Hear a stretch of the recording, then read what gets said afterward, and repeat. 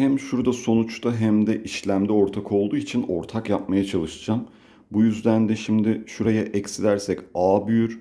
Sonra bölü yaparsam arkadaşlar b 120 olur. b 120 olduğunda buraya da artı yazarsak bakın c 117 olur. Böylece 117 artı 120 artı 10 130 artı 117'den 247 C şıkkı. Kolay kısımla başlayalım. Önce OBEB'i alalım. Ne küp artı 27 OBEB almak için bir çarpanlarına ayırıyorum. N artı 3, N kare eksi 9, e, 3N artı 9. Diğeri de N eksi 3 çarpı N artı 3. Bakın OBEB buradan N artı 3 geldi. N artı 3 eşittir 7 olduğu için N arkadaşlar 4 oldu. Şimdi bundan sonra N 4 olduğuna göre 2 üzeri 4 artı 2 üzeri N artı 2 üzeri M 3 terimlesi bir sayının karesi olması için şöyle. A artı veya eksi B'nin karesi olması lazım. O zaman birinci yorum şöyle olur. Bu 2 üzeri 2'nin karesi bakın. Bu da 2 üzeri 5'in karesi ya. Şöyle düşünebilirim o zaman. 2 üzeri 2 artı 2 üzeri 5'in parantez karesiymiş bu. Böylece 2 üzeri 4 artı birinci ile ikincinin çarpımının iki katı 2 üzeri 2 çarpı 2 üzeri 5 artı e, 2 üzeri 5'in karesinden 10. Bakın burası o zaman 2 üzeri m olacak. Buradan da 5 artı 2 7 bir daha 8 tabanları aynı üstleri topla. m birincisi 8 oldu arkadaşlar. İkincisi burada şunu da söyleyebiliriz. Burada 2 üzeri m bölü 2'nin karesi derim. Diğerine de 2 üzeri 4 yani 2 üzeri 2'nin karesi derim. Şu 2 üzeri 10 da bunların çarpımından gelir. Bakın e, tam kare yaptığımız zaman 2 üzeri m bölü 2 artı 2 üzeri 2'nin karesine 2 üzeri m artı birinci ile ikincinin çarpımının iki katı 2 üzeri 2 çarpı 2 üzeri m bölü 2 çarpı 2 artı e, ikincinin karesi yani 4 2 üzeri 4. Bakın bu da 2 üzerin 10'a eşit olacak. m bölü 2 artı tabanları aynı olduğu için üstleri toplarsak m 14 geldi. Alacağı değerler toplamı 22 oldu. Aslında bir tam kare sorusu bakın şurada. Soruyu tek tek deneseniz düşünmekten daha hızlı sürebilir arkadaşlar. 94 verdiğiniz zaman 47 oluyor. 47'den küçük asal bölenine bakacaksınız. Diğer taraftan da 94'ün en büyük asal böleni 47. Şimdi haliyle 47'den küçük böleni bunun zaten e, 47 bir asal sayı olduğu için diğeri 2 olacak. O zaman eşit olmadı bakın. Sonra 84 deseniz bunun yarısı 42. 42'den küçük böleni arkadaşlar kaçtır? 21'dir. Bunun en büyük asal böleni 84'ün 7. Şimdi böyle devam ettiğimiz zaman 74'e baktığımızda zaten yarısı asal sayı. Yarısı asal sayı olduğu için bunun 37'den küçük böleni 1 olacağı için 74'ün de asal böleni en büyük 37 olduğu için bu da gitti. 64'te zaten arkadaşlar asal bölen bir tanecik var o da 2. O yüzden bunu almaya gerek yok. 54'te arkadaşlar asal bölen 3 o yüzden yine almaya gerek yok. Çok küçük kalacak. NA4'e göre 44'e geldiğimiz zaman bakın. Bunun en büyük asal böleni 11. 44'ün yarısı 22. 22'den küçük bunun asal bölü, e, 22'den küçük pozitif böleni en büyük kaçtır? 11'dir. Böylece eşitlendi. Tek alabileceği değer var. O da 44. Çünkü diğerlerinde de aynı durum oluyor. Gördüğünüz gibi denedim. İnanın gerçekten yani anlatmama rağmen bir dakika falan sürdü. Siz kendiniz yapsanız eminim böyle tek tek denediğinizde en fazla bir dakika sürecektir. Aslında sadece yerine koyma sorusu arkadaşlar. Bir şunu hemen yapalım bakın. Neydi eşitsizlikte? Eksi m ile m arasında olur. x eksine öbür tarafa attığımız zaman eksi m artı n ile m artı n arasında olacak. Şimdi burada eksi m artı n ve m artı n'yi nasıl bulacağım? Yerine yazacağım. A gördüğün yere 1, B gördüğün yere 2 yaz diyor sana. Şimdi şuradaki A1, 2 böylece arkadaşlar eksi 1'in birinci kuvveti çarpı 1 küçüktür. B çarpı x yani 2 çarpı x küçüktür. B'nin karesi o da 4 oldu. Böylece eksi 1 2x 4 geldi. Eksi 1 bölü 2x 2 oldu. Birinci çözüm kümemiz bu. Sonra a 2 4'e baktığımız zaman eksi 1'in karesi 1. 1 çarpı 2. Sonra b arkadaşlar 4x karesi 16. Böl 4'e 1 bölü 2 x 4.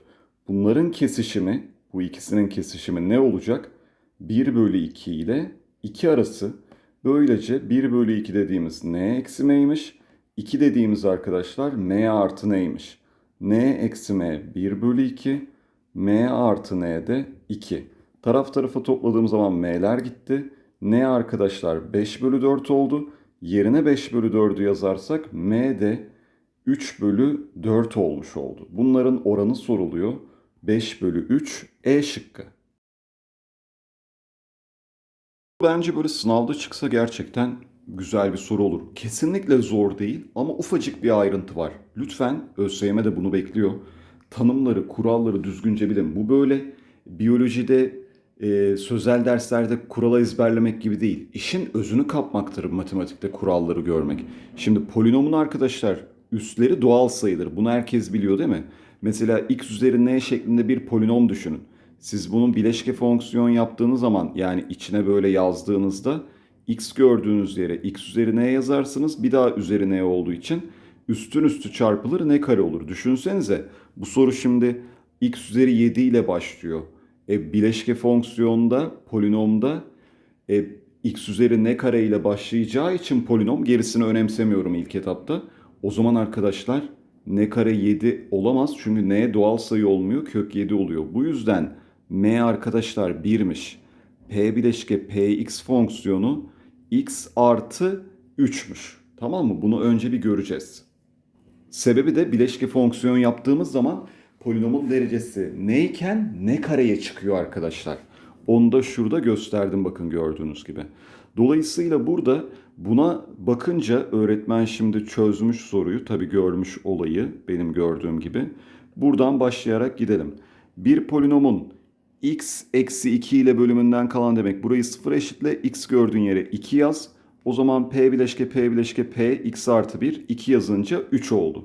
Şu kısım zaten üstte var bakın. Böylece 3 artı 3 6 gelmiş oldu şu P bileşke P3 kenarda göstereyim. Buna göre artık burası 6 olduğu için P bileşke P 6 olmuş oldu. 6 artı 3'ten gerçekten öğretmen 9 buldu ama öğrenci 13 dedi. Çünkü sabit sayıyı yanlış hatırlıyormuş. O zaman artık buraya T diyorum. Doğru yaptığımızı gördük. Hani bir hatamız yok yani soruda. Şimdi T dedikten sonra P bileşke P3 artık ne olacak? 3 artı T.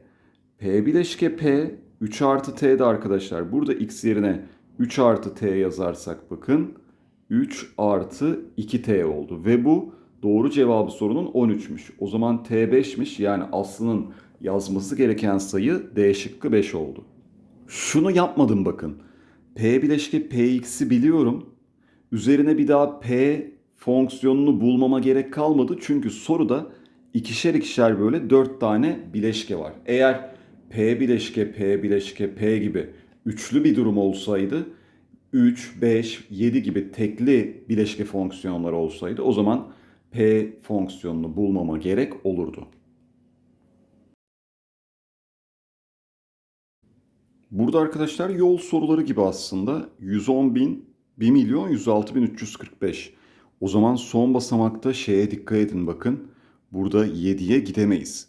Sonra bakın 6 6 olduğu için bakın bu 5'e gitmemeliyiz. Sonuçta bir, bir milyonlar basım, bir milyonlar basamağı, milyonlar basamağında bir, yüz binler basamağında bir, on, ondan sonra diğer basamakta sıfır, diğer basamakta altı, diğer basamakta üç, diğer basamakta dört ve son basamakta beşe ulaşmamız lazım. O yüzden bunları kapattım. Bu yollara gitmeyeceğiz. Şimdi buraya bir farklı şekilde gidilir. Üstüne yazacağım ben şimdi artık böyle numaraları buraya yazdığım numaralar arkadaşlar gitme yolları. Sonra buraya da bir farklı, buraya da bir farklı şekilde gelebilir. Sonra bakın 1 artı 1'den burası iki farklı şekilde. Buraya bir farklı şekilde gelir. Sonra bu ikisi birleştiği için burası da 2. Buraya bir farklı şekilde gelir. Birleştiler. Buraya 3 farklı şekilde gelir. Buraya 4 farklı şekilde gelir. Buraya gidemez. Çünkü oraya gelirse bakın hangi rakama geliyor? 5 rakamına olmuyor. Orada öyle bir 5 rakamı yok bakın. Sonra arkadaşlar 3, 4 daha buraya 7 farklı şekilde gelir. Buraya direkt 4 farklı şekilde gelir. Başka yoldan gelemiyor. Birleşim yeri burası 11. Burası arkadaşlar 7. Sonra yine bakın 7 birleşim yeri olduğu için burası 18. 4 buradan 11. E, 4 sadece buradan. Sonra arkadaşlar buradan da mecburen 4. Birleşim yeri yok çünkü direkt buraya doğru gitti bakın. Buna göre 7, 18 ve 4 farklı şekilde indi en aşağı. 22, 7 daha 29 oldu arkadaşlar. D şıkkı. Soru bence zor bir soru. Belki önceden bunun böyle bir soru tipi vardı. Map kazanımlarda sorulan. Belki önceden buna benzer gördüyseniz daha rahat düşünebilirsiniz ama ilk defa gören öğrenci için biraz zorlayabilir. Bir sayının burada x yerine yazacağınız sayıyı size mesela f1 sorduğu zaman x kare artı 3x yapmayacaksınız dikkat. x verdiğiniz zaman burada m yazıyorsunuz. m de neymiş? x sayısının 6 ile bölümünden kalan. Örnek vereyim. Diyelim siz f7 yaptınız tamam mı? O zaman m gördüğünüz yere 1 yazıyorsunuz. Böyle cevap 4 çıkıyor. Ya da işte G için konuşalım. X yerine mesela 47 yazacaksınız. 47'nin 6 ile bölümünden kalan ne? O yüzden arkadaşlar G 47 kalan 5 olduğu için 5 çarpı 5 eksi 1'den 24 olacak mesela. İşte burada bunu söyledikten sonra F'nin tersini buraya atarsak Fn ile Gn eşit olmalı. O zaman arkadaşlar burada N yerine yazdığınız sayılardan ziyade N sayılarının 6 ile bölümünden kalanlar önemli. 1'den 48'e kadar değil, 1'den 1 milyona kadar da olsa bu sayıların 6 ile bölümünden kalan nedir? Ya 0'dır, ya 1'dir, ya 2'dir, ya 3'tür, ya 4'tür, ya 5'tir. Yani biz aslında M yerine bu 6 sayıdan birini yazacağız arkadaşlar. Bu yüzden tüm durumlar 6 tane olacak. 48 tane değil. Burada çünkü soru, MEB'in sorusu öyleydi zaten e, size böyle bir sürü sayı verecek. Sonsuza kadar gidecek bu. O zaman siz sonsuz mu yazacaksınız paydaya? Hayır. Ne verirseniz verin topu topu bu 6 kalan üzerinden gidiyor. X'in kaç tane olduğu önemli değil. M yerine kaç tane sayı yazıyorsunuz o önemli. M yerine de sadece 0, 1, 2, 3, 4, 5'i yazabiliyoruz. Bu yüzden arkadaşlar şimdi M yerine 0 yazdığımız zaman M kare artı 3M ne olacak? Tek tek bunları kontrol edeceğiz. M yerine yazdığımız sayı arkadaşlar gördüğünüz gibi ee, kaç yapıyor?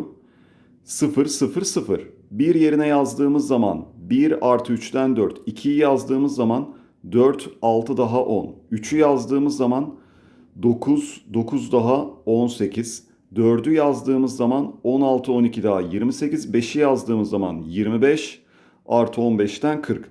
Şimdi aynı şeyi 5m eksi 1'de yapıyorum. 0 yazdığımda eksi 1. 4 yazdığımda 19 şey 1 yazdığımda 4 pardon. 2 yazdığımda 9. 3 yazdığımda 14. 4 yazdığımda 19. 5 yazdığımda kaç gelmiş oldu? 24. Bakın arkadaşlar sadece bu 1 yazıldığında doğru cevap birbirine eşit geldi. O zaman toplam bir durumdan şey 6 durumdan bir tanesi doğru olmuş oldu. D şıkkı böyle biraz ters bir soru arkadaşlar. Yani sınavda çıksa bence eleyiciliği yüksek olur. Yapıyorsanız anlıyorsanız problem yok ama hani bir soruyu bazen şey oluyor. Yapıyorsunuz yapınca çöp soru oluyor. Yapamayınca bu ne biçim soru? Ya da işte yapınca öğretmen bu kaliteli soru diyor. Yok ya o kadar kaliteli değil. Yani bu soru bence öğretmen ve soru yazan birisi olarak e, iyi olduğunu düşünüyorum. Sınavda hatta bu kadar zor sorulsa bayağı can yakar.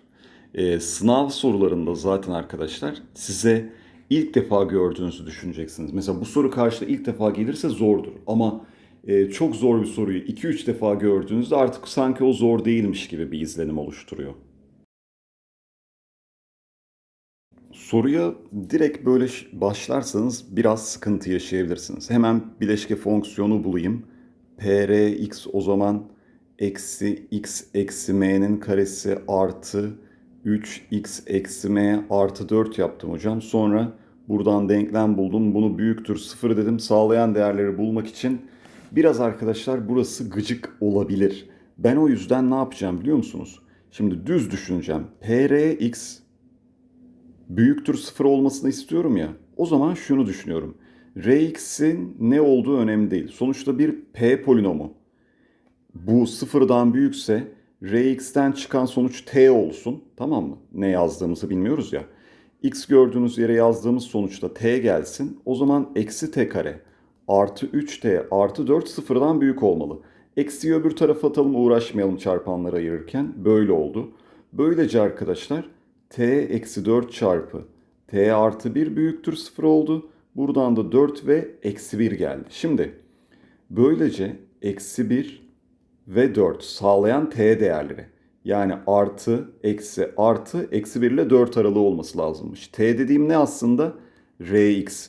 Rx eksi 1 ile 4 arasında olmalı. Rx dediğimizde nedir arkadaşlar? Gördüğünüz gibi e, x eksi m'dir. Bunu da attığımız zaman böyle öbür tarafa m eksi 1, x ve m artı 4. Eşitsizlik olduğu için sağlayan ilk değer m. Son değer m artı 4 değil m artı 3 olacak değil mi? Bir büyüğünü alıyorum. Bunun da bir büyüğünü alıyorum. İkisi de dahil değil çünkü. O zaman m, m artı 1, m artı 2 ve m artı 3 sağlayan değerler. Bunların toplamı 30 verilmiş. 4m artı 6 eşittir 30'dan. 4m eşittir 24. m arkadaşlar 6 oldu. D şıkkı. Bazen bileşke fonksiyon sorularında grafiklerde de söylüyorum. İçten dışa gitmek yerine dıştan içe gitmek daha mantıklı eğer içeriği bilmiyorsak. Önce içeriden dışarı doğru giderseniz şu saçma sapan işlemle uğraşmak zorunda kalırsınız bakın. Yani bu da bence hiç sevimli değil. O yüzden yine doğru bir işlem yapacağız ama dışarıdan bu dörde eşitmiş bakın şu kutu içinde M, daire içinde M yaparken böyle ama ne yapacağım ben? Önce diyeceğim ki bunun sonucu M'nin sonucu şöyle bir K olsun tamam mı? K üzeri 4 eksi 5K kare artı 8 eşittir 4 diyelim dıştan içe gidelim. Böylece K üzeri 4 eksi 5K kare artı 4 eşittir 0. K kare eksi 4 K kare eksi 1 diye çarpanlarına ayırdım. K kare 4 olduğuna göre K 2 olabilir eksi 2 olabilir. Yine K kare 1 olduğuna göre eksi 1 olabilir 1 olabilir. K dediğimiz ne? Şu M'nin sonucu. M'nin sonucu nedir arkadaşlar? Şöyle yerine yazarsak küp kök m eksi 2. Bu eksi 2 olursa m 0 olur. Bu arkadaşlar 2 olursa m 64 olur. Bu sonuç 1'e eşit olursa m 27 olur. Bu sonuç eksi 1'e eşit olursa m buradan 1 olur. Böylece 64, 27, 91, bir daha 92 C şıkkı. Soldaki arkadaşlar sağdaki. Hangisi çıkmış? Sağdaki. O zaman bakın x eşit değildir y'ymiş ve sağdaki daha büyük olduğu için o olmuş. O zaman buradan ne söyleyeceğiz? 3 neye yer, yerimiz yetmeyebilir. 3 n artı 12 büyüktür. n kare artı 7 n. Buradan da n kare artı 4 n eksi 12 büyüktür 0 olur. Şimdi çarpanlarını ayırdığım zaman n artı 6 ve n eksi 2 yazıyorum. Eksi 6 2 köklerimiz artı eksi artı. Eksi 6 ile 2 aralığını almamız gerekiyor sıfırdan küçük olması için. Şurasını da düzelteyim. Bakın bu taraf olduğu için şöyle küçüktür olacak. Sonra arkadaşlar geliyorum diğerine. E, bunda da nasıl çıkmış? Soldaki çıkmış. O zaman yine eşit değilmiş. Demek ki eksi m kare artı 10m artı 1 büyükmüş. 8m eksi 14'ten 0 büyüktür m kare eksi 2m eksi 15. Buradan dolayı m eksi 5 m artı 3 büyüktür 0 ve köklerimiz eksi 3'e 5 arkadaşlar. Artı eksi artı. Burada da almam gereken yerler burası. Şimdi eksi 6 ile 2 n'nin aralığı. m'nin aralığı da eksi 3 5 arkadaşlar. O zaman neler sağlıyor ortak olarak? İkisinde de eksi 2 eksi 1, 0, 1 bu kadar bitti. 4 tane değer için x eşittir y olacağından dolayı daha doğrusu n eşittir m olacağından dolayı f n m çarpı n olur. Yani eksi 2 eksi 2 eksi 1 eksi 1 0 0 ve 1 1 gördüğünüz gibi 4 tane sıralı ikili var B şıkkı. Payda eşitleyeceğiz. f a demiş bakın a değil. f a dediği sonuç yani bu arkadaşlar e, eksi sonsuza sıfır olduğuna göre sıfırdan küçük demek istiyor size. X kare eksi 4x eksi 5 bölü x küçüktür sıfır. Asla içler dışlar çarpımı yapmak yok. Değişkenli eşitsizlik sorularında normal böyle kökleri tek tek bulacaksınız. Neden içler dışlar çarpımı çarpımı yapmıyoruz? Çünkü x arkadaşlar negatif de olabilir, pozitif de olabilir. O zaman çarpınca eşitsizlik yön değiştirir. O yüzden böyle yapın. Köklerimiz eksi 1, 0 ve 5 artı eksi artı eksi. Sağlayan a değerleri eksi sonsuzdan eksi 1 birleşim 0 5 aslında böyle rahat bir soru D şıkkı. Kökler toplamı kökler çarpımından bir gidelim bakalım. A çarpı C kökler çarpımı C bölü A. Sıfırdan farklı olduğu için bunları sadeleştirebiliriz. Sıfırdan farklı demeseydi tabii ki sadeleştirmeyip ortak parantez alarak yapardık. A kare eşittir 1.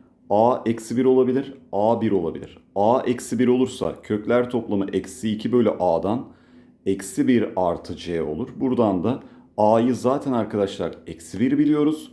Böylece e, şey A'yı kaç demiştim ben? Eksi 1 demiştim evet. Böylece arkadaşlar C buradan 3 olabilir. Eğer A'ya 1 dersem kökler toplamı eksi 2 bölü 1 eşittir 1 artı C. Böylece C eksi 3 olur. Alacağı değerler çarpımı eksi 9'dur A şıkkı. Burada arkadaşlar parantez alırsak 2 n artı 1 bölü n oluyor ya bakın şimdi. Aslında çok basit bir durum oluyor. 1 yazınca 2 çarpı 3 bölü e, 2 bölü 1. 2 yazınca 2 çarpı 3 bölü 2. E, 3 yazınca 2 çarpı 4 bölü 3. Nokta nokta o zaman ilk 15 terim ne olacak? 15 tane 2 olacak bakın bunlardan dolayı 2 üzeri 15. Sonra şunlar da sağdakiler de 2 bölü 1, 3 bölü 2 nokta nokta en son 16 bölü 15. Böylece bunlar sadeleşecek ve 2 üzeri 15 çarpı 2 üzeri 4'ten 2 üzeri 19 olacak. Bu a çarpı 2 üzeri b'ye eşit. b 19, a'da 1 oldu. Toplamları 20. a şıkkı. Arkadaşlar burada bakın 10 birim uzunluğunda bir uzunluk var. Sol, sağ tarafta da 4. O zaman soldaki 10 tane karenin uzunluğu kenar olarak sağdakinin 4 tanesine eşit. O zaman bunun bir kenarına 2K diyeyim. Bunun bir kenarına da 5K diyeyim. Şimdi 2, 4, 6. O zaman köklerimizi nasıl yazıyorduk? X eksi 6K. Kökleri bilinen bir parabol. Sonra burası da arkadaşlar x eksenini b'de kestiğine göre şuradan 6k gelecek, 5k gelecek. Şuradan da 6k gelecek. x eksi 11k eşittir y parabolü. Ve aynı zamanda nereden geçiyor? 1, 2, 3, 0'a eksi 6k'dan geçiyor. O zaman bakalım. Sa- sol tarafta olduğu için sadece şurayı eksi eksiden artı 6k yapayım. x yerine 0 yazıyorum 6k eksi 11k. Ordinatı negatif olduğu için buraya da eksi 6k yazacağım. Böylece k sıfır olamayacağına göre buradan bakın k 6'lar da gitti. 1 bölü 11 oldu. Şimdi arkadaşlar k 1 bölü 11 olduğuna göre bu kenarlara ne demiştik biz küçük olanları? 2 bölü 11. O zaman 2 bölü 11'i m ile çarptığımda bir tam sayı elde etmem için tabii ki 11'in katı olması lazım. M'ye en az 11 vermeliymişim. C şıkkı. Önce yukarıyı 2y'den kurtaralım. Nasıl kurtarırız? 2y artı 2 bölü y artı 1 artı 32 bölü y artı 1 diyerek. Burada da arkadaşlar şöyle bir katkısı olacak. Şimdi 2y artı 2 yapmamın sebebi paydaki değişkenden kurtulursanız sadece artık odaklanmanız gereken ne? 32'nin bölenleri. Onlar da 1, 2, 4, 8, 32 ve 16 olacak. Şimdi böylece tam sayı olması için y artı 1'i 1 yapamayız çünkü o zaman y pozitif olmaz 0 olur. Buna göre 2 verdiğimizde payda 2 olduğunda arkadaşlar 2 32 bölü 2'den 16 2 daha y 18 olur. Sonra 4 olursa payda arkadaşlar 8 2 daha 10 olur. Payda 8 olursa 4 artı 2'den 6, payda 16 olursa 2 artı 2'den 4 ve payda 32 olursa y eşittir arkadaşlar 3 olur. Bu arada bunları verdiğimiz zaman y değerleri aynı zamanda şu x'miş pardon. E, y değerleri arkadaşlar hep pozitif tam sayı olduğu için hem x pozitif oluyor hem y pozitif oluyor. Doğru x'leri bulmuş oluyorum. Geliyorum şimdi diğerine. 4096 1024 çarpı 4 1024'ün zaten 2 üzeri 10 olduğunu biliyoruz. O zaman bu da 2 üzeri 2'den bu 2 üzeri 12'ymiş. Demek ki yine x ve y pozitif tam sayı olması için log 2 üzeri e, y'yi bilmiyoruz. Bir dakika şöyle demiş hatta. Log 4096 bölü log y. He, tabanlar aynıysa bunları sil. Alttakini taban kabul et. Üsttekini de böyle yaz.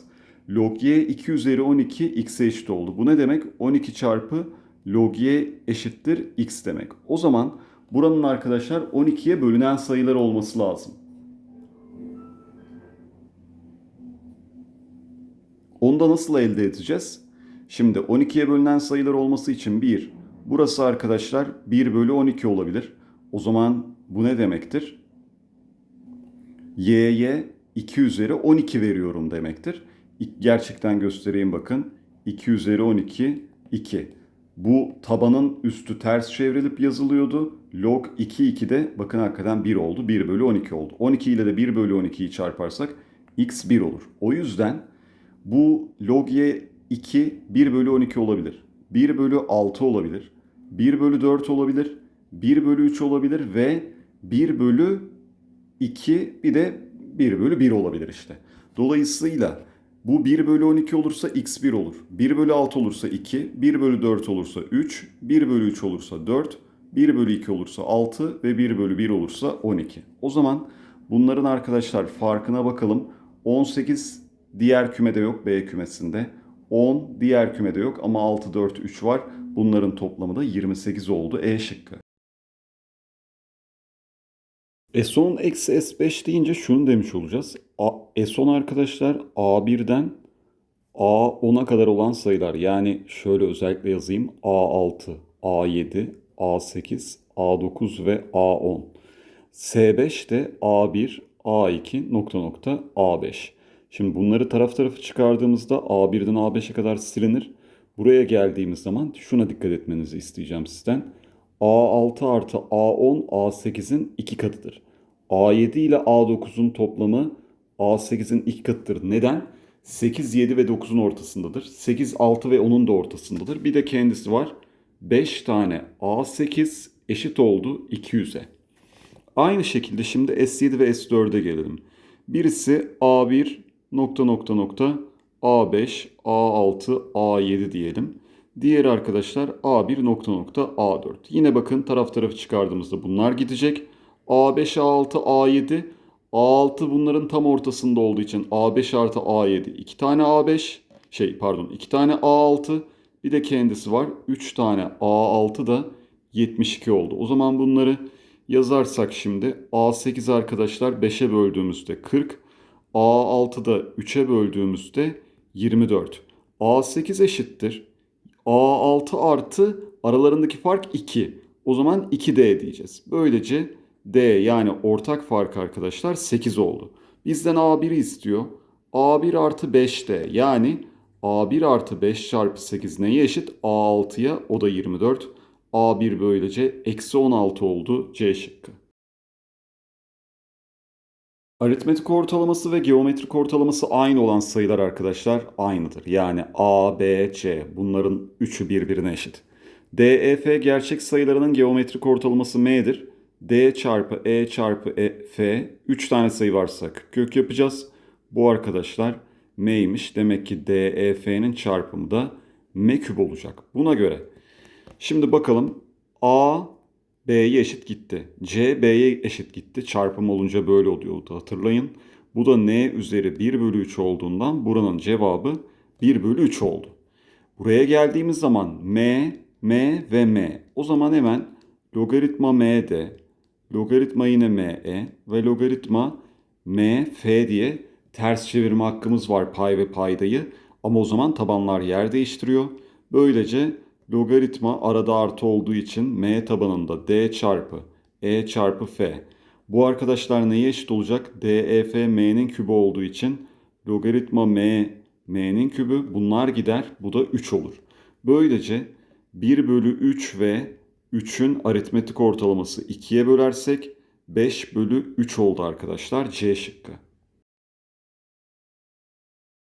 Şimdi burada köklerinden biri logaritma 2 tabanında 3 diyorsa yerine yazacağız. 4 üzeri logaritma 2 tabanında 3. Neydi logaritmada kural?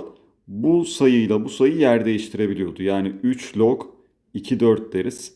O zaman log 2 4 de 2 olduğu için 3 üzeri 2 olur. Yani bu da 9 gelir.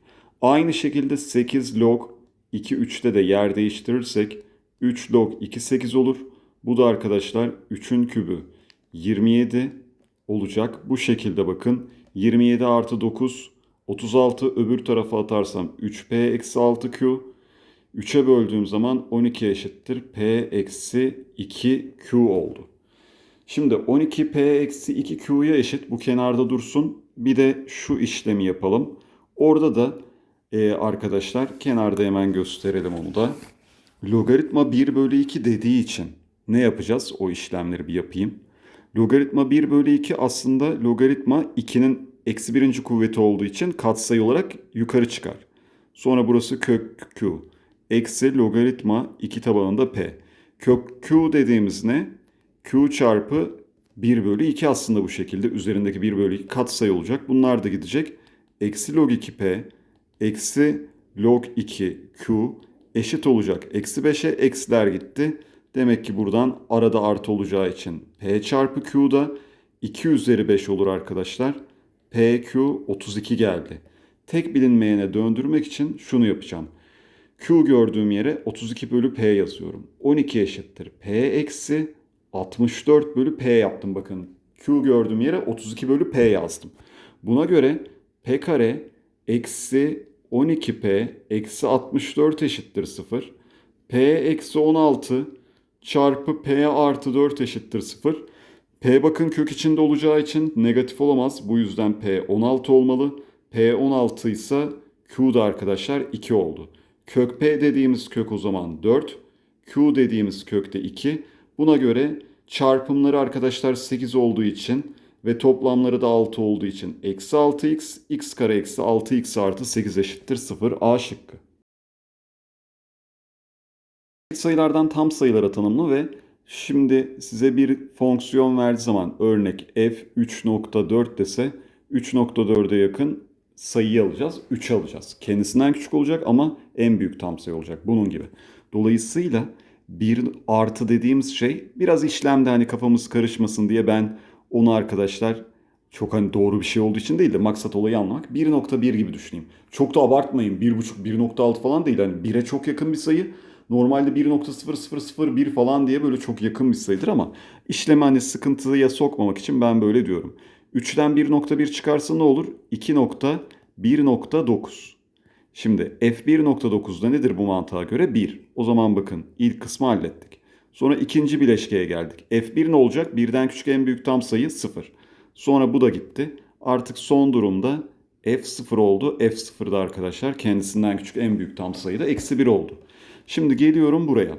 Eksi 1 bölü 3. Eğer arkadaşlar bu tam eksi 1 bölü 3 olsaydı burası 3 olacaktı değil mi? Ama eksi 1 bölü 3 eksi olduğu için sıfırdan biraz daha uzaklaşacağız. O zaman burası böyle 3.1 gibi falan olacak çarpınca.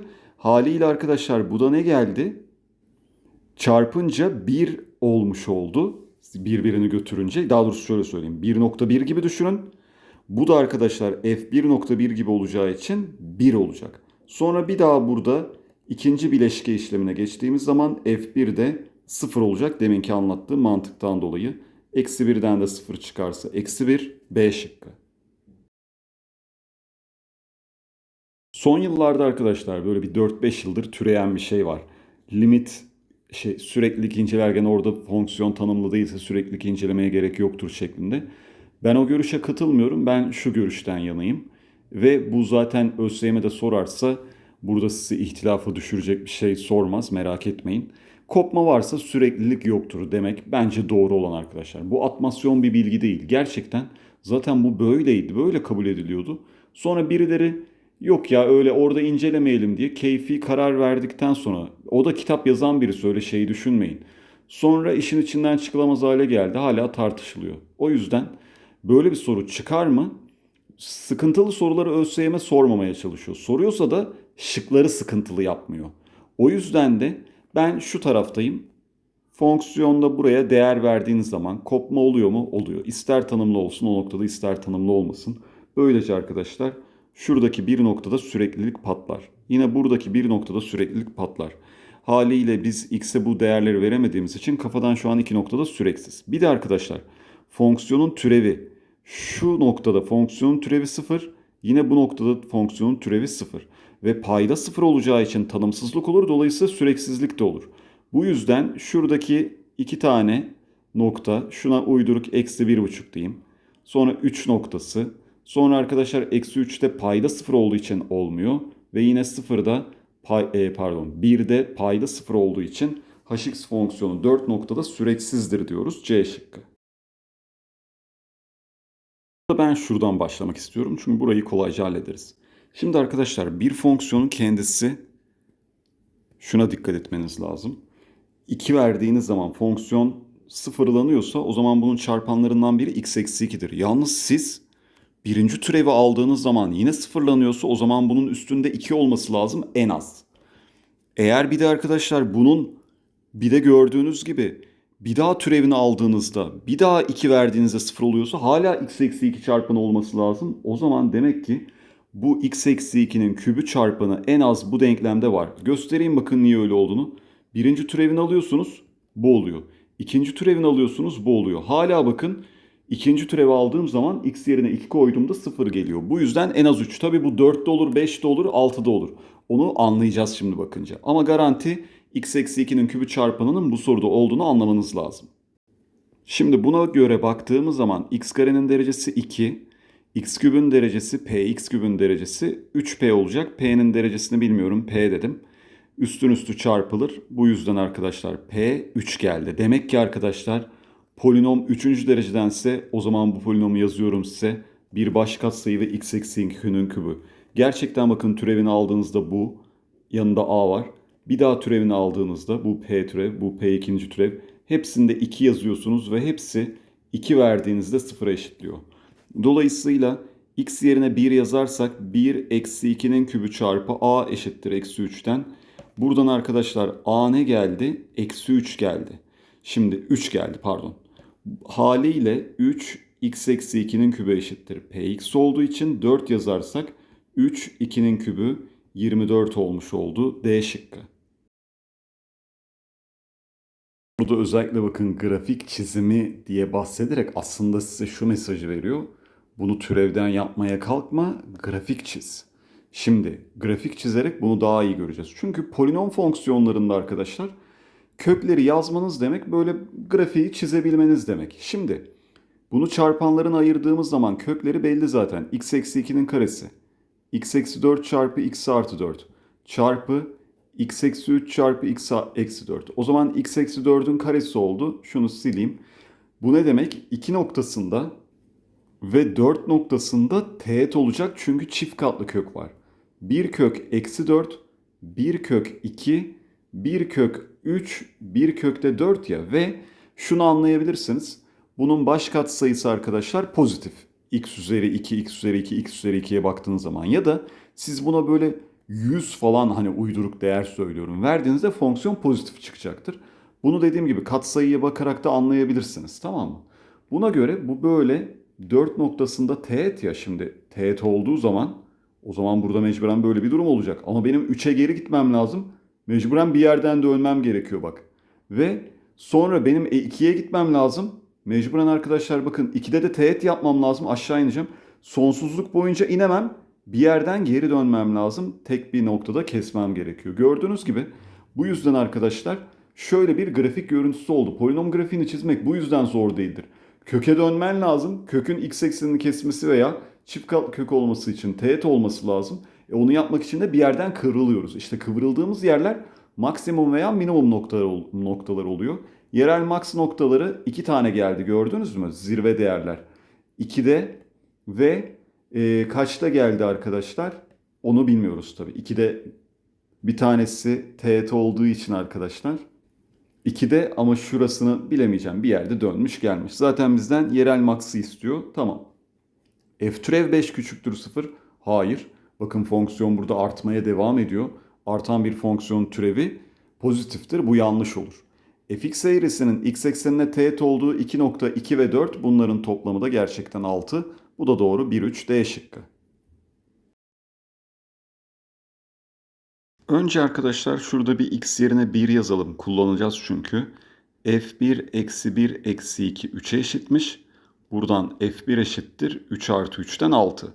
Sonra f türev x e, türevini alırsak y'nin türevinin her iki tarafının f türev x eksi 2x olacağı için x yerine 1 yazdığımız zaman f türev 1 eksi 2 yani şu fonksiyonun türevi olan eğrinin eğimi ne gelmiş oldu?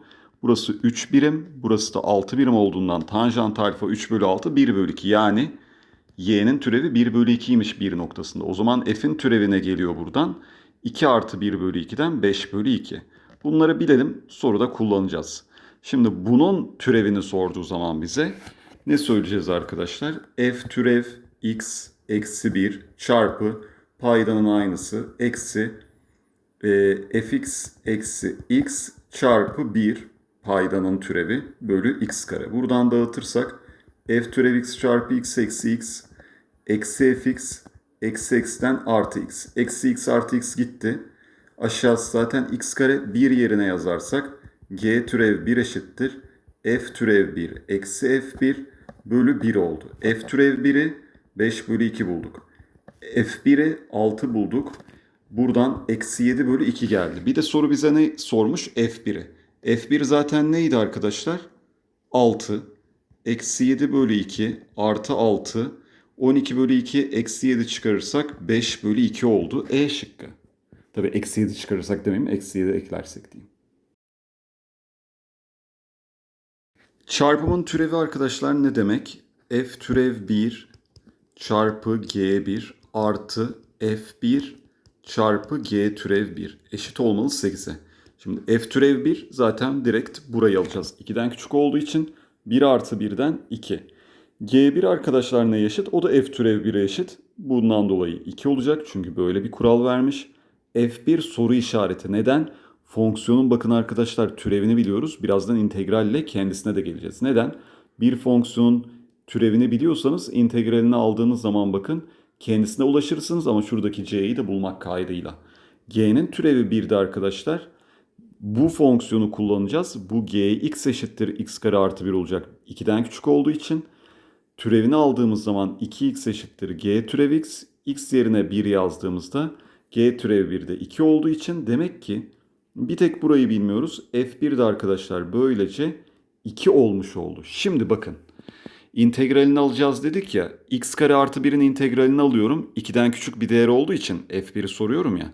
Bunları birleştirirsek x kare artı 1'in integrali neye eşittir? x küp bölü 3 artı x artı c. Bunu niye buldum? Şimdi bakın f1 arkadaşlar 1 bölü 3 artı 1 artı c eşittir 2 bulduk ya. C buradan 2 bölü 3 geldi. Ne alaka? Bana 4'ü soruyor. 1'i niye bulduk? Şimdi bu parçalı fonksiyon bakın. x küçük eşit 2 ve x büyük eşit 2. Ancak fonksiyon türevlenebilir. O zaman iki noktasında bu sürekli bir fonksiyon olması lazım. Eğer iki noktasında sürekli olmazsa kesinlikle arkadaşlar türevli de olmaz. Demek ki artık yapmam gereken şey x küp bölü 3 artı x artı c. Zaten c'yi 2 bölü 3 bulmuştuk. Bu hangi noktada? x eşittir 2 noktasındaki değeriyle diğerinin integrali x kare artı x artı d diyelim bunun sabitine de. Bunun da yine x eşittir 2 noktasındaki limiti birbirine eşit olacak. Bu sol limit bizim için. Bu da sağ limit gördüğünüz gibi. Yerine yazarsak 8 bölü 3 artı 2 artı 2 bölü 3 eşittir. 4 artı 2 artı d. İkiler gitti. 10 bölü 3 eksi 2 bölü 3 geldi arkadaşlar d. Şimdi artık sağdan yani x büyüktür 2'nin denklemini biliyorum. x kare artı x eksi 2 bölü 3. Benden ne istiyordu bu? f 4'ü istiyordu değil mi? 4'ün karesi 16 artı 4 eksi 2 bölü 3. 60 eksi 2'den 58 bölü 3 oldu arkadaşlar. E şıkkı. Bakın bu bazen türevlenebilir falan filan mevzuları biraz önemsizleştiriliyor. E, unutuluyor, önemsizleştiriliyor demeyeyim pardon. Önemsiz gibi oluyor ama gerçekten gördüğünüz gibi türevlenebiliyorsa onun türevi parçalı fonksiyon çıksa da öncesinde süreklidir. Bir örnek göstereceğim hani nasıl bir şey bu. Bakın şöyle bir grafik dönüş yapmıştır. Şurası. Böyle bir dönüş değil. Böyle yumuşak bir dönüş. Ama şuradan farklı bir eğriyken buradan farklı bir eğridir. Bu noktada kopma olmamış. Sürekli sadece fonksiyonlar değişmiş. Yumuşak bir geçiş olduğundan sürekli oluyor ve o noktada türevlenebiliyor bakın.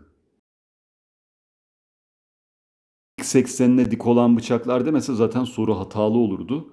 Bulamazdık çünkü.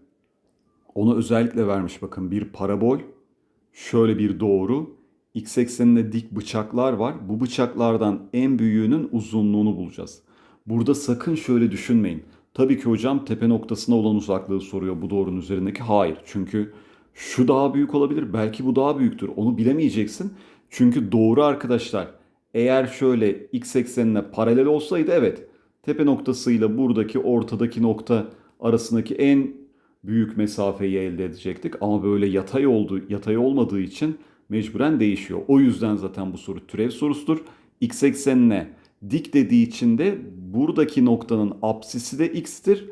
Buradaki noktanın apsisi de x'tir. Analitik yapacağız yani. Diyeceğiz ki bu noktanın özelliği x'e 2x eksi 1 olması. Bunun da özelliği x kare eksi 4x artı 2 olması. İki nokta arasındaki uzaklık x eksi x'in karesi artı x kare eksi 6x artı 3'ün karesinin karekökü eşit olacak uzaklık denklemine. Bunlar gitti. Bunun da karekökünü alınca mutlak değer içinde x kare eksi 6x artı 3 eşittir. ux türevini alıyorum. Şimdi türevini alırken arkadaşlar şunu yapalım. 2x eksi 6 bunun türevi tamam mı?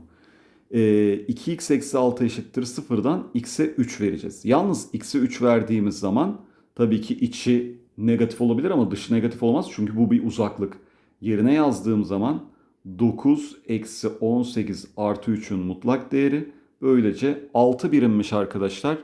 Bu iki nokta arasındaki en uzun mesafe yani en uzun bıçak uzunluğu. Burada bir kural hatırlatmak için sorulmuş bakın burası. Bir fonksiyonun periyodu 6 ise ax eksi b yani yine f ax eksi b'nin periyodu kuraldır bu. 6 bölü mutlak a'dır. Bu arkadaşlar işte 4'e eşitmiş. Hatta kural olarak yazayım. fx'in periyodu t ise f ax artı b'nin periyodu t bölü mutlak a olur. Tamam mı? Buradan da a bu yüzden 3 bölü 2 olmuş oldu arkadaşlar. Buna göre o zaman yerine yazarsak 0'dan 2'ye buranın integrali çok kolay. 2x'in integrali x kare olduğu için 4'ten 2'ye 16 eksi 4 12. Ona hemen hesaplayalım ki uğraşmayalım. 12.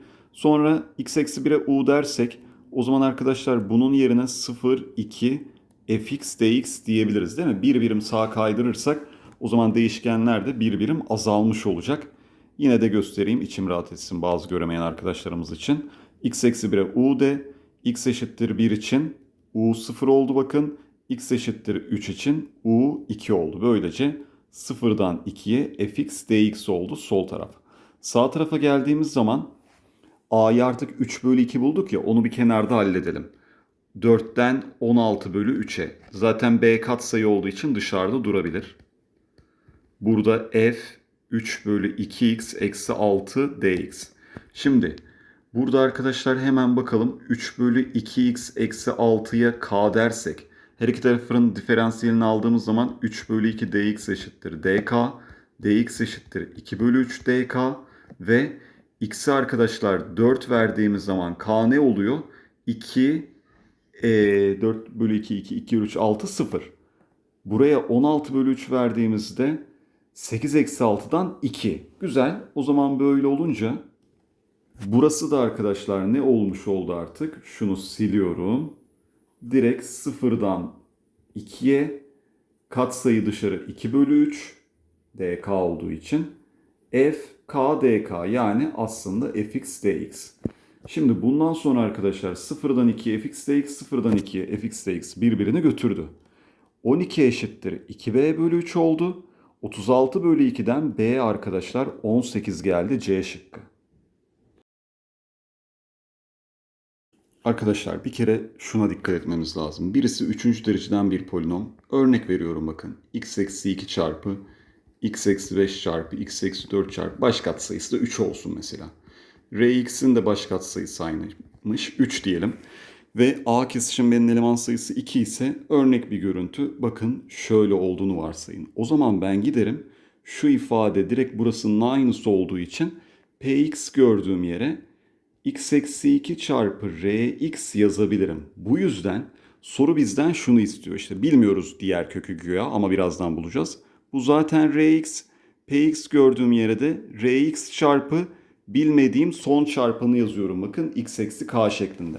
Sonra nasıl bir yorum yapıyorum? Bunlar sadeleştiğine göre fx arkadaşlar 1 bölü x eksi k oluyor ve polinom paydayı sıfır yapan değer 2 söylüyor bize. 2 veremediğimiz için. Tanımsız yapan tek değer paydayı sıfır yapan değer. Böylece burası da arkadaşlar x eksi 2 olmuş oldu. Şimdi bir fonksiyonun tersini nasıl alıyoruz? x'i yalnız bırakarak. O zaman içler dışlar çarpımı yaparsak y x eksi 2y eşittir 1. y x eşittir 1 artı 2y x eşittir 1 artı 2y bölü y. Demek ki fonksiyonun tersi 1 artı 2x bölü x'miş. Bir de burada bir x var. 3'ten m'ye bunlar gitti. dx integral x kare artı x 3'ten m'ye. Bu da kaça eşitmiş? 8'e. Yazdığımız zaman m kare artı m eksi 9 eksi 3 eşittir 8. Böylece hepsini sol tarafa atarsam m kare artı m eksi 20 eşittir 0. m artı 20 e pardon 20 nereden çıktı? m artı 5 çarpı m eksi 4 eşittir 0. m buradan 4 de olabilir. Eksi 5 de olabilir. Şıklarda 4 olduğu için c'yi işaretliyoruz. Şimdi değişim arkadaşlar burada bakın nereye eşit olacak? Şuradaki alana eşit olacak değil mi? E, tabii mecburen integrale eşit olacak. Buranın alanını hesaplayamayacağımız için. T1'den 2 anına kadar bu alandaki değişim, daha doğrusu hızdaki değişim nedir? x üzeri 4 bölü 4 bölü 2'den böylece 2 olmuş olacak. Eksi x küp bölü 3 artı x. T1'den 2'ye. Şimdi enteresan bir durum var gibi ama olmayacak merak etmeyin. 16 bölü 2 8. Eksi 8 bölü 3 artı 2 eksi şu kısmı bilmiyoruz çünkü tamamen t koyacağız yerine. Dikkat edin 10 eksi 8 bölü 3 22 bölü 3. 22 bölü 3'ten bir şey çıkaracağız. Buradaki mavi bölgenin alanına eşit olacak yani değişime eşit olacak. 22 bölü 3 7 küsür bir şey. E bu 22 bölü 3'ten küçük olması için 8, 9, 10, 11 olamaz ki. Zaten arkadaşlar şuradaki değişim e, soru işaretli yeri çıkardıktan sonra oluşacak. Mecburen tabii ki burada tek alabileceği değer şıklardan baktığımız zaman 7. Aslında standart böyle bir soru. İntegrali kaç olabilir demek istiyor aslında size. Bu da arkadaşlar şimdi sıfırdan m'ye fx dx demek bu grafik ve x eksen arasında kalan bölgenin alanı demek. Çünkü x eksenin üstünde direkt negatiflik bir durum olmayacak. Şimdi sıfırdan 2'ye kadar kaç tane kare var? Kare sayısı demiş. Sonuçta bu yarımlar da boyalı olmuş oluyor. Sayı dediği için yoksa alan demiyor bize. Alanı hesaplamayacağız. E, 7-9 tane kare burada boyalı. Şurada e, 1, 2, 3, 4, 5, 6, 7, 8, 9 tane de burada. 4 tane burada arkadaşlar. Sonra şurada 1, 2, 3, 4, 5, 6, 7, 8, 9, 10, 11, 12, 13. 13 tane de burada kare boyalı arkadaşlar. Şimdi A şıkkında bakalım bir. Burada 2 kare. Şurada arkadaşlar 1, 2, 3, 4, 5. Bu 4 ile 6 arası. Neden böyle yapıyorum? Çünkü M değerleri 2, 4, 6, 8'den biriymiş. Burada da 1, 2, 3, 4, 5, 6, 7, 8, 9, 10, 11, 12, 13, 14. Şurası 1, 2, 3, 4, 5, 6, 7, 8, 9, 10, 11, 12. Şimdi diğerlerine baktığım zaman bir bakalım. Şurası bayağı bir çok görünüyor ama 1, 2, 3, 4, 5, 6, 7, 8, 9, 10, 11, 12. Sonra buraya baktığım zaman 1, 2, 3, 4, 5, 6, 7, 8, 9, 10, 11. E buraya baktığım zaman 4, 2 daha 6, e, 1, 6 tane oldu. Sonra buraya baktığım zaman şöyle 1, 2, 3, 4, 5, 6, 7, 8, 9 tane oldu. Gördüğünüz gibi cevap zaten A şıkkı olduğu belli. Niye biliyor musunuz? Yani B şıkkına baktım orada bile. Şimdi buraya kadar olsa zaten 9. diğeri 2. 4'e kadar olsa 18 burası 7 yapıyor. Buraya kadar olsa e, 13, 18 4 daha 22. Burası da 19 2 daha 21. Hala küçük. Sağ tarafa alsak ta 8'e kadar yine büyük oldu. O zaman arkadaşlar bakın A şıkkını aldığımız zaman istediğimiz M değerini aldığımızda zaten her zaman soldaki sarı kare sayısı sağdaki yeşil kare sayısından fazla oluyor. O yüzden böyle ilk şıktan Allah'tan olmuş. Öbür türlü ben size B şıkkını da gösterdiğine bakın. B şıkkında 2'ye kadar 12 daha büyük. 4'e kadar 12, 11 daha 23 daha büyük. Sonra 6'ya kadar 23, 6 daha 29 daha büyük. Sonra yine en sonuna geldiğinizde 38 yine oradan büyük. Dolayısıyla B şıkkı olmayacak. Diğerleri de bu şekilde olmayacak. B küp eksi B'yi şimdi bakın şöyle B çarpı B kare eksi 1 yapalım. Ondan sonra B kare dediğimiz nedir? Cos kare x bölü 4 artı sin kare x bölü 4 eksi 2 çarpı cos x bölü 4 çarpı sin x bölü 4 arada artı mı vardı artı vardı düzelteyim. Eksi 1. Böylece cos kare sin kare bu birleri götürecek. 2 cos x bölü 4 sin x bölü 4 ne yapar arkadaşlar? Sin x bölü 2. Böylece sin x bölü 2 bulmuş olduk. Sonra bir de tabi bu b'ye olan şeyi de unutmayalım. Şu an b kare eksi 1 buldum ben. O zaman b küp eksi b arkadaşlar. Cos x bölü 4 artı sin x bölü 4 çarpı sin x bölü 2 oldu. Bir de bunun başında bir böyle iki kat sayısı var. Şimdi biz bu da bir de bunu gideceğiz a'la çarpacağız. A'la çarpmak demek bu ifadeleri bir de cos x bölü 4 eksi sin x bölü 4 ile çarpmak demek. Bakın bunların ikisini çarparsak cos kare x bölü 4 eksi sin kare x bölü 4 olur. Yanında sin x bölü 2 zaten duruyor. Bir de çarpı 2 duruyor. Bu da neye eşit? Cos x bölü 2 yarım açı. Yanında sin x bölü 2 var. Bir de 2 var. E bu da yarım açıdan sin x oldu arkadaşlar. Tamamen formül, formül sorusu B şıkkı. Arkadaşlar bunu değer deneyerek yapmaya çalışırsanız kafayı yersiniz. Soruya da yani küfredersiniz içinizden. Ama burada çok güzel bir yorum yaparız biz. Bazı sorularda eğer işin içinden çıkamıyorsanız grafikten kolayca halledebilirsiniz belki. Bunu deneyin. Bakın şimdi cos x'in grafiği 0 ile pi bölü 2 arasında nasıl bir grafik? Pi bölü 2'de 0 oluyor. 0 da 1. O yüzden böyle. Tanjantın grafiği 0 ile pi bölü 2 arasında nasıl? Sonsuza kadar gider. Malum 0'da 0. 90'da da tanjant sonsuza yaklaşıyor. Şimdi arkadaşlar ne diyordu bize? Cos x ve tan x değerlerinden büyük olanını. Bakın şöyle kesiştikleri nokta k olsun. Buraya kadar grafiğin burasını alacaksın diyor. Sonra K noktasından sonra da grafiğin burasını alacaksın. Yani her zaman büyük olan kısmı yani üstte kalan kısmı alacağız. O zaman bakın grafiğin görüntüsü bu işte. Bu noktadan dolayı en küçük olduğu yer fonksiyonun grafiğinin neresi bakın işte bu yeşille pembenin kesiştiği K noktası. Kesişmek demek bu denklemleri ortak çözmek demektir. Cos K eşittir. Sin K bölü ta, e, cos K diye yazacağım tanjantı. Buradan da cos kare K eşittir sin K diyeceğiz. K'yı bulmaya çalışacağım ya. Sonra bunun yerine de 1 eksi sin kare K yazıyorum. Eşittir sin K. Attım öbür tarafa kısaca yazacağım şimdi. S kare artı S eksi 1 eşittir 0. Böylece e, köklerden biri tabi delta ile bulacağız. Çarpanları ayrılmıyor. 1 artı 4'ten 5 oldu. Eksi B yani eksi 1 artı kök 5 bölü 2 sinüs değerlerinden bir tanesi. Sonra diğeri de arkadaşlar eksi 1 eksi kök 5 bölü 2 eşittir sin k2. Ama bu eksi 1'den küçük olduğu için bunu alamam. Gördüğünüz gibi sinüsün e, sinüs k1 burada eksi 1 artı kök 5 bölü 2 oluyor. Ben k'yı bulmak istiyorum. k1 burada arkadaşlar yani k diyelim artık ona tek değer çıktı. Arc sin kök 5 eksi 1 bölü 2 geldi. İşte bu açı çünkü arklar bir açıydı. Yani sinüsü eksi 1 artı kök 5 bölü 2 olan açı buradaki değeri de en küçük yapan açı arkadaşlar. Bu yüzden cevabımız D şıkkı. Yoksa ben bunları tek tek üçgen çizip yapmaya kalksam iş çığırından çıkardı.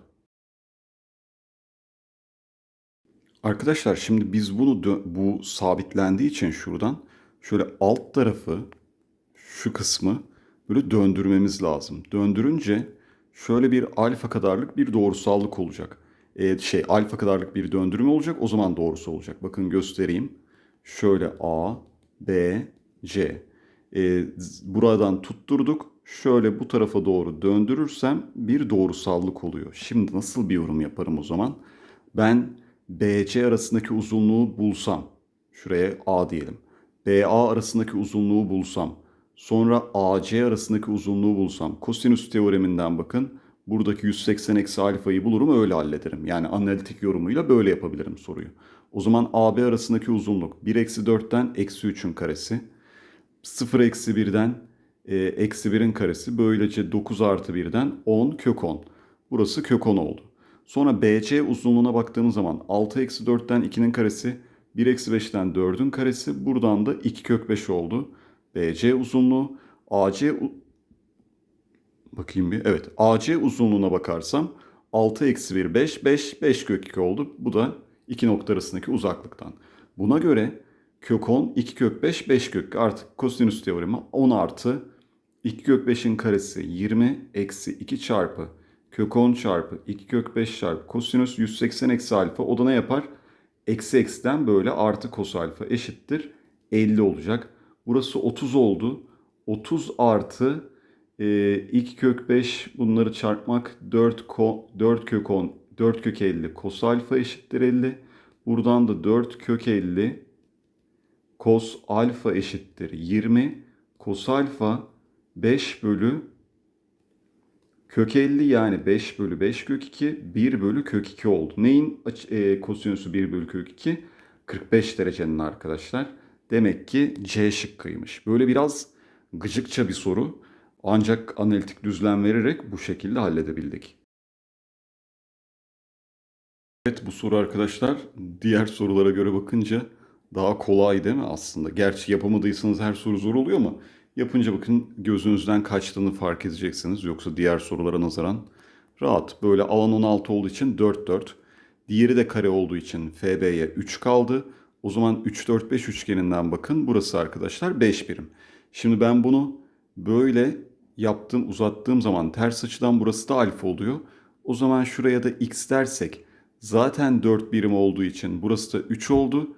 Buraya da 3 oldu. Böylece kosinüs alfa neye eşit olacak? 4 bölü 5. Bu da neye eşit? 3 bölü x. Buradan da arkadaşlar x 15 bölü 4 geldi. Bu kadar. Katlama sorularında ya eski haline getirin ya da şekli katlayın. Ben eski haline getireceğim. Maksat dikdörtgeni anlamak böyle daha kolay olsun diye. Şimdi şuradan bir dik indireyim.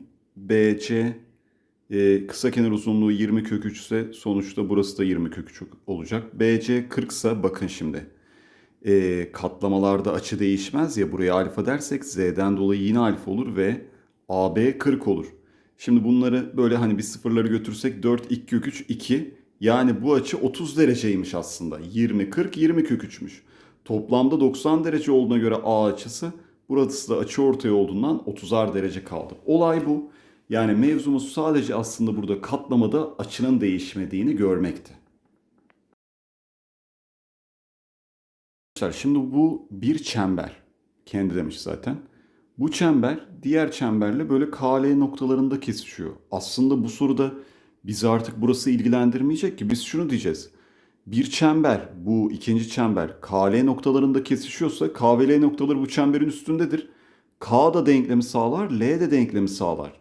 Dolayısıyla K'yı bu denklemde yerine yazarsam 0, eksi artı 1, artı 0, eksi eksiden artı 2, artı b eşittir 0'dan b eksi 3 oldu. Sonra diğerine bakalım. 4 artı 1 artı 2a eksi 2 artı b eşittir. b zaten neydi? Eksi 3. Eşittir 0 oldu. 5'ler birbirini götürdü. A da buradan 0 oldu. A artı B eksi 3 geldi. B şıkkı. Bilenlere göre bir işlemi yapalım bakalım. AB doğrusuna göre simetriğini al demiş bu çemberin. Aldık. Sonra bunu sarıya boya demiş. Tabi Orada sarıya şöyle boyayayım ben. Böyle boyadık arkadaşlar. Sonra diyor ki bu sarıya boyadıktan sonra çember e, C eleman AB olacak şekilde %25 oranında küçült. Normalde AB'yi soruda bize 20 vermiş. O zaman 20'nin %25'i 20'yi 4'e böl demek. 5. 3 ile çarparsak o zaman 15. Çünkü %25 oranında küçülttük ya artık 3 bölü 4'üne düştü. Dolayısıyla yeni çemberimizin çapı 15 santim oldu. Sonra diyor ki bunu da git 90 derece A noktası etrafında saat yönünde döndür. Saat yönünde döndürmek ne demek arkadaşlar? Şöyle bakın saat yönü bu yön. O zaman 90 derece döndürünce şöyle bir görüntü oldu. Bakın gördüğünüz gibi son çemberle sarı çemberin kesişme noktaları bir A noktası geldi. Bir de şöyle arkadaşlar D noktası geldi. Bizden nereyi istiyor? Ee, bakayım bir göremedim. AD'yi istiyor. AD'yi istiyor ya şöyle bir hamle yapacağız. Bir kere çapı gören çevir açı 90 derece. Soldaki mavi çemberde. Sağdaki sarı çemberde de çapı gören çevir açı 90 derece. O zaman 90 90 180 bu şuraya şöyle bir e, K desek. K arkadaşlar gerçi AC çaplı diyordu değil mi? Ona K demeyeyim C diyeyim. AC çaplı çember bakın AB çaplı çember bir dik üçgen oluşturdu. 15 burası 20 burası 15 20 25 üçgeni geldi. Yüksekliğini nasıl buluruz? H çarpı 25 bölü 2 eşittir. 15 çarpı 20 bölü 2 üçgenden dolayı H 12 geldi. Bu da AD arası uzaklık C şıkkı. Şimdi arkadaşlar burada ben şöyle yapacağım. Sorularda hangisi kolayımıza gelirse diyorum ya. Burada da kolayıma gelen katlamak olacak. Niye biliyor musunuz? Şu görüntü sanki böyle 3 boyutluymuş gibi biraz gözünüz korkutmuş olabilir. Şuna dikkat edeceksiniz. Katlayınca ne değişmez? Uzunluk değişmez. Dolayısıyla burada şöyle bir yükseklik çizdiğiniz zaman katlamada uzunluk değişmeyeceği için anladığım şey ne oluyor? AK ile KF aslında birbirine eşit arkadaşlar. Böylece LK AB ve CF'nin orta tabanıdır. 9 olduğu için 9 olduğundan dolayı şuraya A diyorum. Simetri eksenin kenarının iki katıydı. 9 eşittir A artı 2A bölü 2'den. A artı 2A bölü 2'den. Böylece A arkadaşlar 6 geldi. Bu uzaklıkta 12 oldu. Şimdi devam ediyorum. Sonra arkadaşlar DE'yi de katladığımızda şöyle bir durum oluşmuş. Burada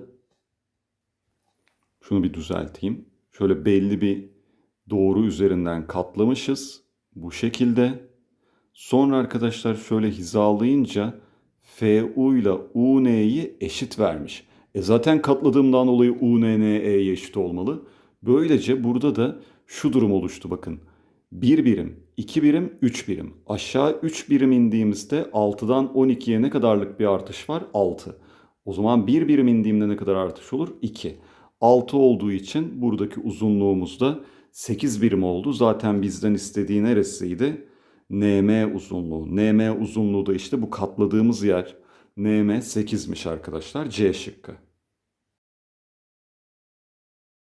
Şöyle bir D doğrusu üzerinden katlanınca arkadaşlar A noktası OB üzerinde bir noktaya geliyormuş. Buraya A üssü diyelim tamam mı?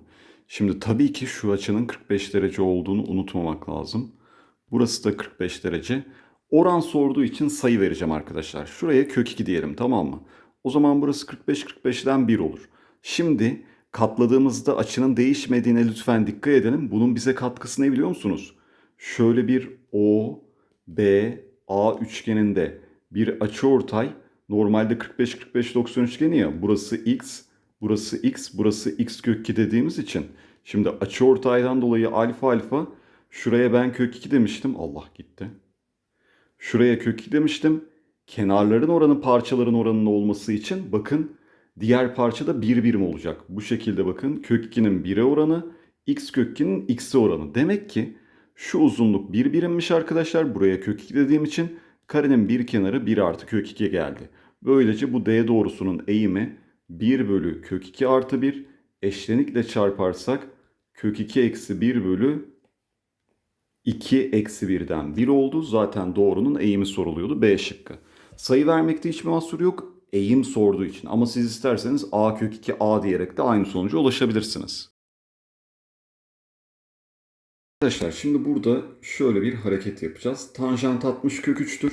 Bu yüzden f x ekseni ile 60 derecelik bir açı yapar. Sonra arkadaşlar tanjant 31 bölü kök 3'tür. Öbürü de bu yüzden böyle 30 derecelik açı yapar. Tamam mı? Şunları bir silelim zaten gördük şimdi. Bu f, bu g 30'ar derecelik açılar. Ufacık yazayım şöyle.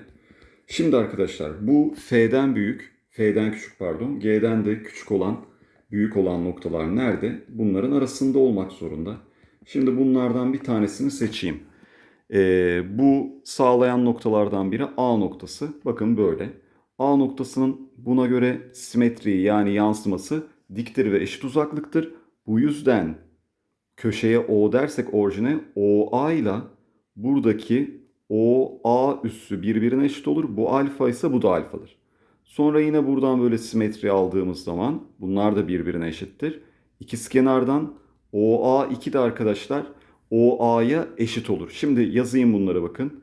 İkizkenardan OA üssüyle OA birbirine eşit oldu. Bir de tabii ki OA2 birbirine eşit oldu arkadaşlar. Renkle de göstereceğim. OA üssü, OA ve OA2 üssü. Şimdi alfa, şuraya da beta diyeyim, buraya da beta diyeyim. Alfa artı beta 30 derece olduğuna göre 2 alfa artı 2 beta 60 derece. Bu bizim için önemli. Çünkü bakın bu üçgeni solda bir daha çizeyim görünem. O, A üssü, A2 üssü. Tepe açısı yani 60 derece şuranın tamamı bulduk. Sonra şuradan çıkan da zaten bakın şurayı da unutmayalım. Bu da bakın O, A kenarı. Şimdi bize A1, A2 arasında 3 kök 2 verdiği için Şimdi bu OA1 ile de OA2 birbirine eşit çıktığı için 60'ar dereceden bunlar 3 kök 2, 3 kök 2. Bir de ne demiştik? OA da bunlara eşit. O zaman arkadaşlar bu OA da işte 3 kök 2. Böylece orijinal olan uzaklığı 3 kök 2'nin karesi 18 olacak. Önce bir tabii şeklin yüksekliğini bulalım. Çünkü arkadaşlar bu cismin hacmini bulmak kolay. Nasıl yapacağız? Şu maviyle taradığım yeri düşünün. Normalde bunun büyüğün yarıçapı ne? 6 kök 2. 72 pi bölü 2 diyeceğim çünkü yarım daire. Çarpı yükseklikten neyi çıkaracağız? Yarıçap 5 kök 2 olduğu için e, 50 pi bölü 2 o da yarım silindir gördüğünüz gibi h. Bu bize toplam hacimi verecek. Şimdi o zaman h'ı nasıl bulacağız arkadaşlar? Şöyle bir yarım daire olduğu için normal CB kesinlikle CA'ya diktir. Çünkü nasıl anlarsınız kafanız karıştığında AC tabana dik mi? Evet. O zaman tabana dikse bu noktadan geçen CB'ye de mecburen diktir. Buna göre arkadaşlar çap 10 kök 2 olduğuna göre CB de 10 olacak. Çünkü ikizkenar dik üçgen oluyor. Bakın tepeden baktığınızı düşünün. Şöyle çap 10 kök 2. Burası arkadaşlar CB BD'ye eşit. Kendi söylemiş. O zaman ikizkenar dik üçgen olur. Çapı gören çevre açıdan 10 10 olur. Böylece AB 26 olduğu için 10, 24, 26. Yükseklik 24'müş arkadaşlar. Sadece artık buraya 24 yazmak kaldı. Böylece cevabımız 264 pi yani D şıkkı oldu.